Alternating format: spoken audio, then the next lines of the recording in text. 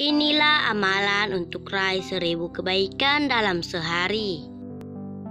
Setiap hari manusia dalam hidupnya selalu ingin mendapatkan kebaikan, namun ternyata tidak setiap hari harapan sesuai dengan kenyataan.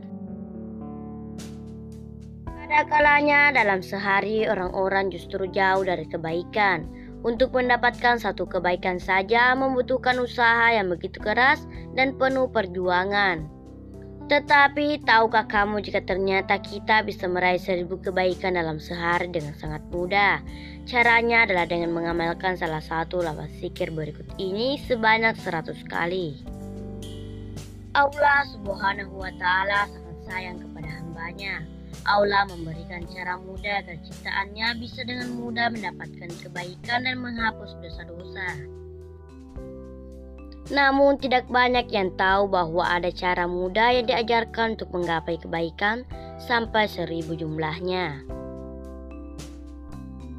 Caranya adalah dengan cara mengucapkan sikir tasbih sebanyak 100 kali setiap hari.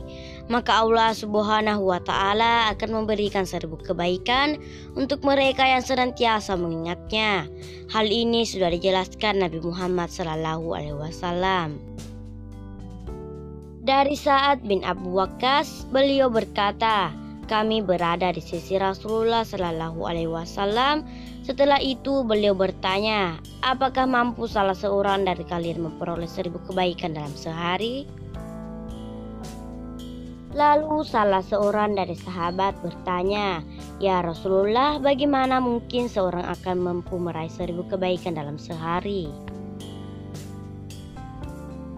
Berkata, ketahuilah bahwa orang yang bertasbih seratus kali akan dicatat seribu kebaikan untuknya dan dihapus seribu kesalahan darinya.